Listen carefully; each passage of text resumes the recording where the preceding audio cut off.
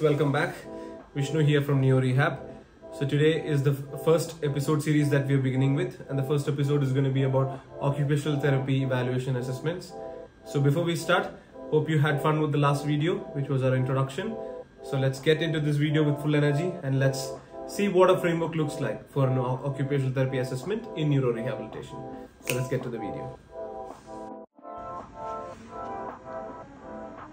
Before we get into the video, first we need to understand the difference between what an assessment is and what an evaluation is.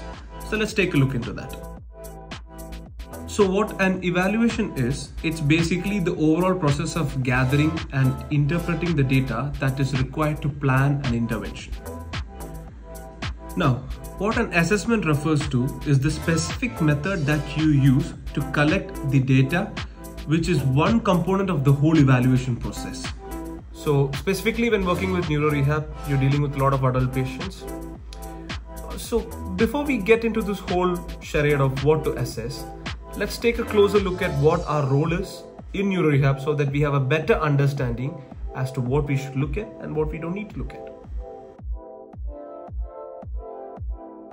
As we all know, occupational therapists are concerned with occupations, and occupations are any activity or task that the client chooses to perform under their own interest. These can be activities or tasks that they want to, need to, or are expected to do.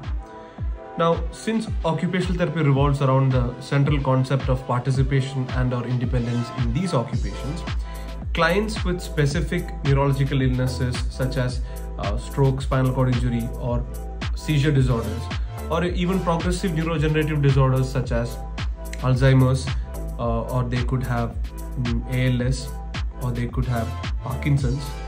These conditions would impede their occupational participation because of the primary and secondary effects of the condition. Hence, occupational therapy is very important in adult neurorehabilitation to foster the whole participation component into their daily living skills.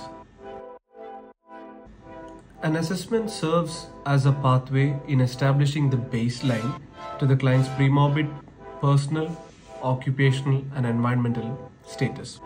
Now, understanding the lived experience of the client and building rapport with them is one of the most important steps in the whole rehabilitation process. And gathering specific details regarding their occupational profile helps in building better rapport with the client. And this would help the therapist in understanding where the client has to go to in terms of their occupational functioning. Uh, this is the reason why an assessment is so important because it provides you with a basic pathway, like a framework on which things you have to work on to get the client to where they were before, if it is possible. So, to make the whole gist of assessment simple, I'm going to divide this into three major components. The first component is the demographic component, second is the profile component, and third is the functional status component. Now, in demographic component, we know it's, it's self-explanatory. You need to get the client's name, age, gender, their address, where they, where they specifically how to contact them, and uh, what language they speak, educational status of the client, work status of the client, uh, what are their cultural and religious orientation, things like that. Now, coming to the second component, the second component is the profile component. Under the profile component, you need to build up a complete profile of the client which should have the details such as the diagnosis and the present medical history. You need to know what comorbidities the client had with reference to their past medical history. You need to know their past occupational status and what their current occupational status is if the client is from a subacute or an outpatient referral. If the patient needs a caregiver, you need to know the caregiver status, who's going to be the major caregiver. You need to understand what type of home environment the client is living in, and you need to understand what type of equipments that the patient might have had already if they had some previous condition before. And then you need to understand the client's roles and routines per particularly performed with within the context of house and outside.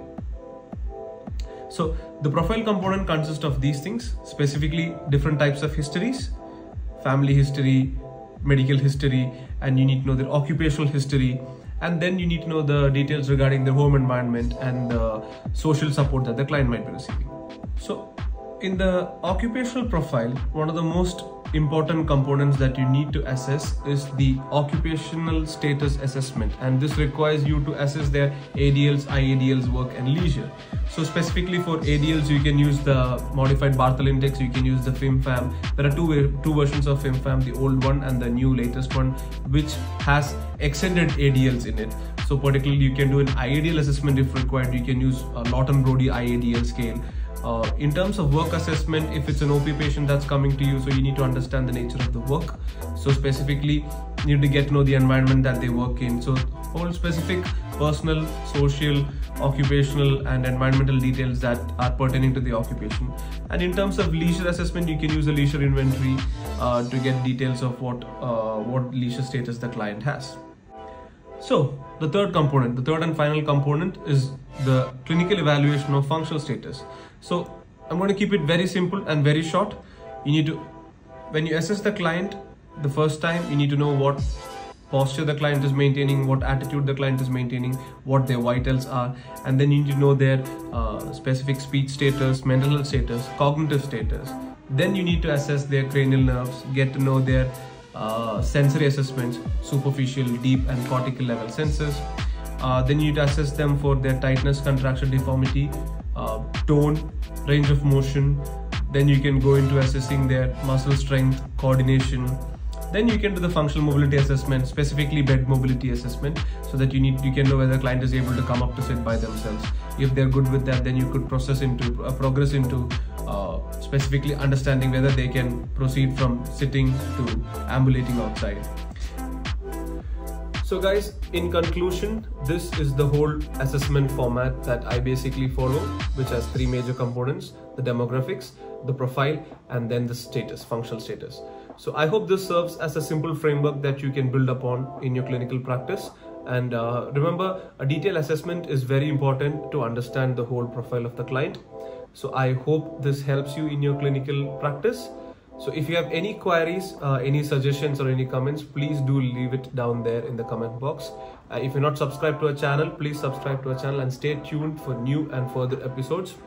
Uh, so the next episode is going to be specifically about a very underlooked concept in occupational therapy. So stay tuned for it. Until next time, this is Vishnu Ramkumar signing off from Neo Rehab. Thank you so much.